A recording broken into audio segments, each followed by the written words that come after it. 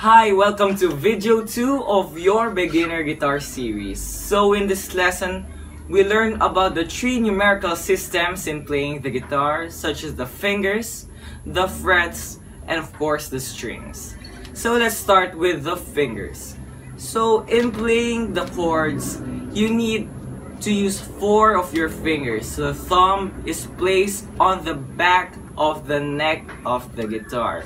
So the numerical system here is your index finger is the first, your middle finger the second, your ring finger the third, and lastly your pinky finger which is the fourth. So this is very easy to remember and you need this as a tool for easy learning in the next lessons.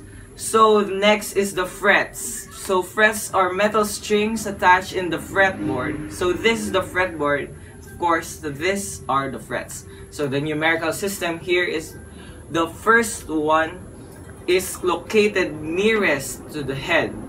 So this is the first, followed by the second, third, fourth, and so on and so forth.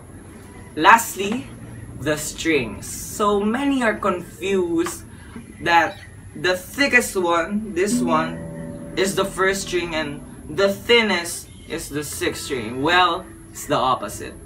So the first string is the thinnest string, this one, located nearest to the ground.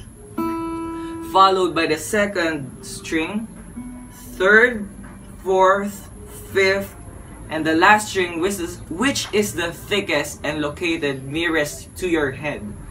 So these are very easy to remember and these are very important things so that makes your learning easy. So if you have any questions, just email me and see you on the next video.